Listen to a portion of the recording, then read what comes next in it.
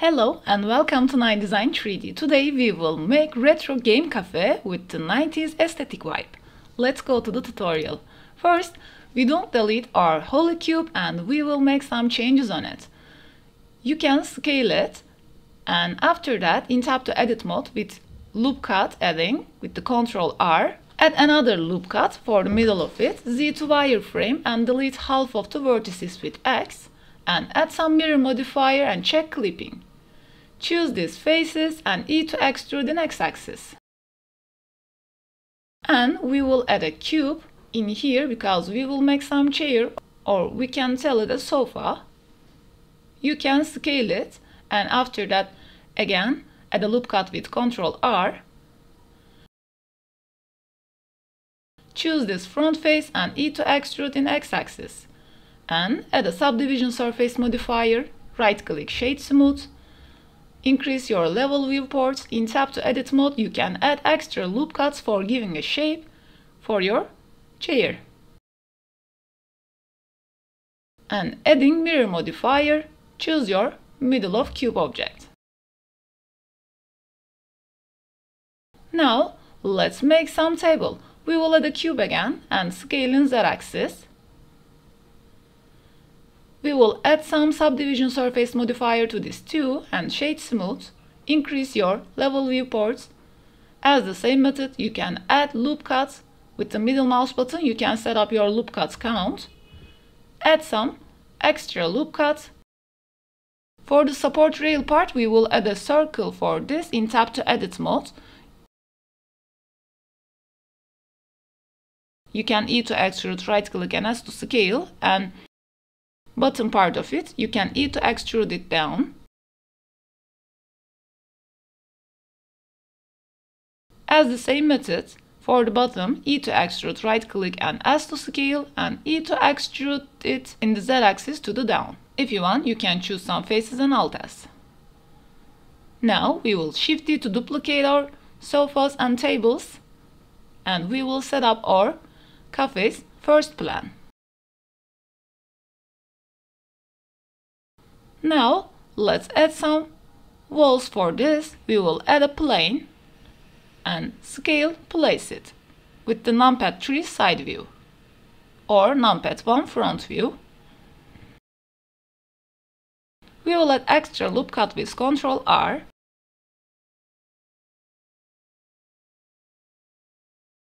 Choose middle of faces, press I twice and insert it Press X and delete faces. Choose all of it and E to extrude in y-axis. You can add extra loop cut for the sides. We will make side wall with E to extruding our faces. As the same method, add loop cuts and choose these faces. E to extrude in x-axis again. With your camera angle, you can set up it. If it's not enough for the window holder, you can choose two of faces and again I to insert X to delete faces, choose these edge lines and right click loop tool bridge. For the floor we will add a plane again and we will shift it to duplicate it for the ceiling. Now let's add a cube because we will make counter bar parts for the left. You can scale it and place Choose some faces and G to move in x-axis. Add extra loop cut again in here. Choose this back face and E to extrude it in y-axis. Now we will add some subdivision surface modifier too. You can shade smooth, increase your level viewport and add extra loop cuts for this. I will speed up somewhere of it as the same pattern, repeated pattern. You can slow down video. Add extra loop cut in here with the choosing Alt your bottom faces, E to extrude right click and Alt S to scale. Now let's make our bar chairs. We will add some circle in here. And in tap to edit mode, you can F to fill it and E to extrude it down. I to insert bottom face. E to extrude it down again, with the choosing these faces with Alt and Alt S to scale again. Choose this bottom face and delete it. As the same method, E to extrude right click and S to scale, and E to extrude these vertices down.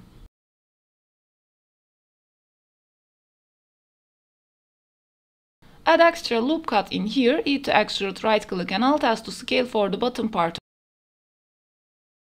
You can add bevel with the Ctrl B. Shift it to duplicate your chairs if you want. Now let's make some other parts of it. We will add a plane in here for making back of the bars counter.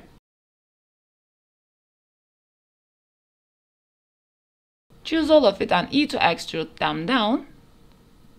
Again, as the same method and as the same pattern, we will add extra loop cut, choose back face and E to extrude it down too. For the top part of the counter, you can add a plane again. With the due to moving your edges and E to extrude these edges in y-axis. Select all E to extrude right click and alt S to scale. You can give a bit of solid shape. Add extra loop cuts. Choose this edge line Ctrl B to bevel. And E to extrude it in y-axis.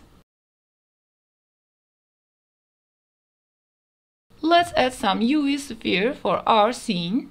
Set your segments 24. We will add some lamps you can shade smooth it, Z to wireframe. As the shortcut, you can delete some vertices from the half of it with the X. For the bottom face line, you can choose this and X to delete these faces and scale them again, E to extrude them up and place it.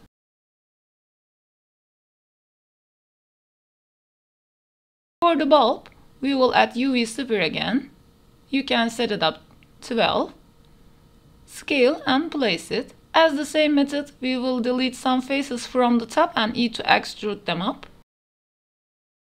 We will give some emission material for this later.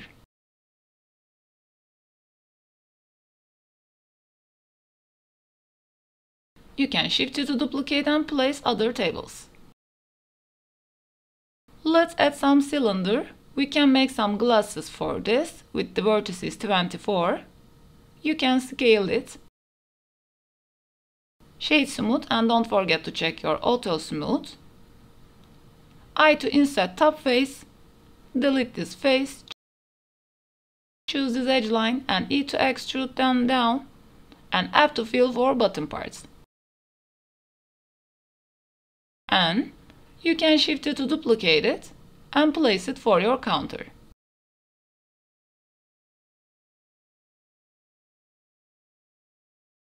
Now let's add some cylinder again and scaling z-axis we will make some plates easily.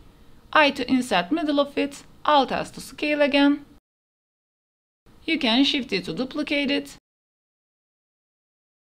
Make a bit untidy look and Ctrl J to join them together.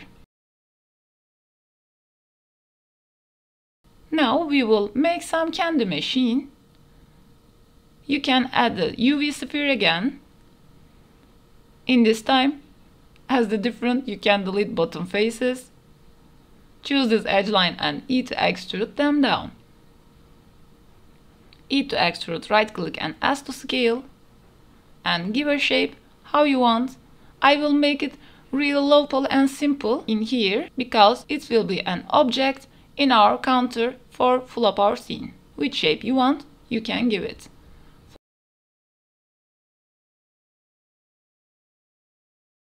For the candies, you can add some UV spheres again with the little segments.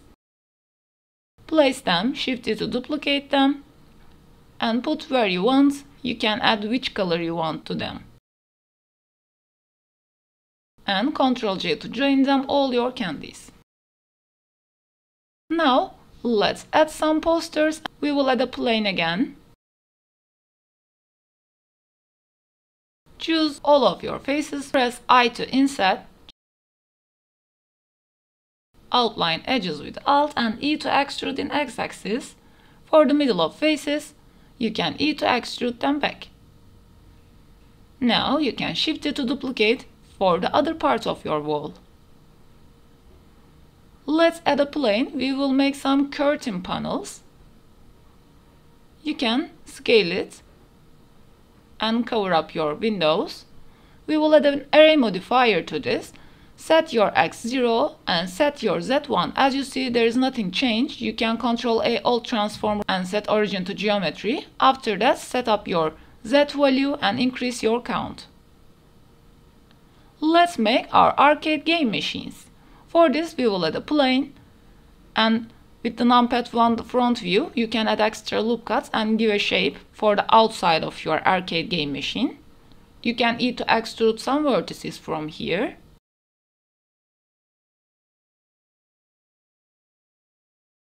Choose all of it. With A, E to extrude in y-axis. Choose these inner faces and I to inset a bit. And E to extrude them in y-axis. You can add extra loop cuts for giving other shape For the left side, you can choose these faces and shift it to duplicate them in y-axis. For the outer faces, you can G to move them in y-axis again. Our arcade machine will look like that. You can add some bevel modifier if you want. For the control buttons, we will add a sphere for this first, for the joystick part. You can delete some button faces from here and E to extrude this edge line. For the other buttons, you can add some circle and decrease your vertices, E to extrude F to fill, and give some bevel with the Ctrl B for the top of your buttons, and Shift it to duplicate and place them. I will make it basic way too, they will give some retro atmosphere in our scene. For the bar counters part, you can choose your top faces and shift it to duplicate P selection and choose all of them, G to move a bit, choose outer edge lines and E to extrude them down, E to extrude them and scale. You can add extra loop cuts middle of it, choose your face line with Alt, E to extrude, right click and Alt as to scale, you can give some metallic parts shape in here. Let's add some materials. I downloaded this poster images from the Pixabay. Which shape you want, which type you want, you can search it as a retro. And I downloaded this concrete tiles and other type of tiles materials from the ambientcg.com and from the vidz I downloaded this retro game style mp4 file. We will use this for our arcade machine screen. You can download this with the free. Let's add some material as a floor type. You can choose your Principled BSDF and press Ctrl Shift T and choose your textures map. I will change it later, but I will use this now you can use and Smart UV project under the mapping node you can change your scale of your tiles. For the walls, as the same method, pressing Ctrl Shift T, you can choose your concrete material from here, choose all of your maps and press U and Smart UV project. As the second part of your walls, I will add different border in here.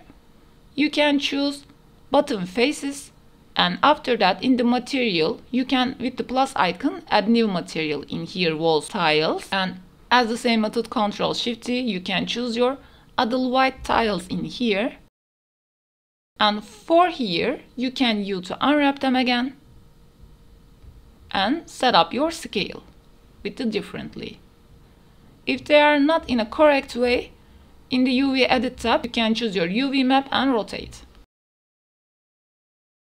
For the walls, if you want, you can add some extra color ramps and bright and contrast nodes for changing your texture's color. I am changing my color ramp's node's color and I will make it blue. As you see, our concrete material is getting blue in the way. For the chairs or sofa, you can add some red color in here as the second material you can add with the plus icon and after that assign it. I will make my sitting parts with this color.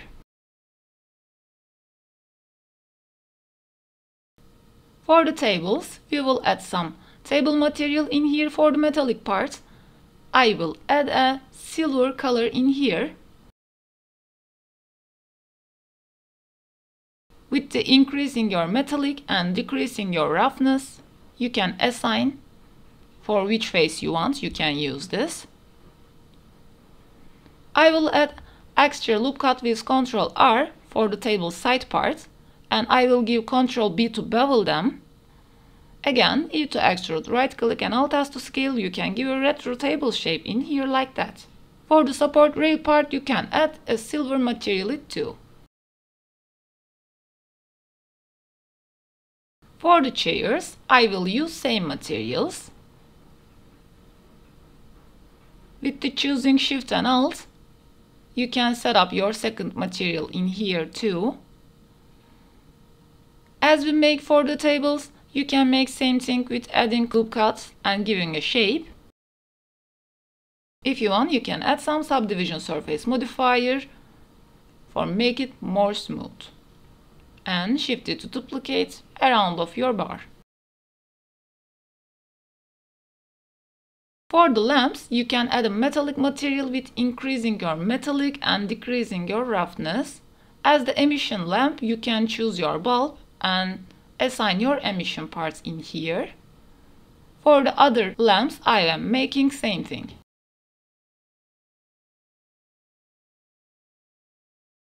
For the posters, I am adding a random material in here as a black and you can set up your second poster and image material in here too. Go to shading tab. After that, we will add image texture. I will connect color to base color and I will choose my cat poster in here. You can choose middle face and assign your second material in here. In UV edit tab, you can choose your UV map, scale and place it. As the same method, I will make other posters too. For the arcade machine, I will add image and images plane in here. I will choose my MP4 file. You can scale and place it screen of your arcade game machine. In here, I will delete Principled BSDF and I'm adding emission nodes and I'm connected them. Now that is glowy 2. And scale how you want. I am adding extra and other materials for my arcade game machine too and for the bar counter I am setting up my other materials as the same method. Our retro scene will look like that and as an extra I only added some area lights in here. I downloaded this jukebox from the Sketchfab add-on. You can go from the top right card. I showed before how to use and set up it and use it. I downloaded this retro jukebox. Thanks for the Maxfill. And I downloaded this neon signs. Thanks for all owners because these models are really good. I imported them and scaled it in my scene and I set it up my colors like that. As the area lights, I gave some pink and blue colors. If you want, you can get some Eevee render too. If you get Eevee render, don't forget to check your ambient occlusion, bloom and screen space refraction. It will look like that. But I will get some cycles render from here. Thank you for watching. Please don't forget to like and subscribe. See you later in new tutorials.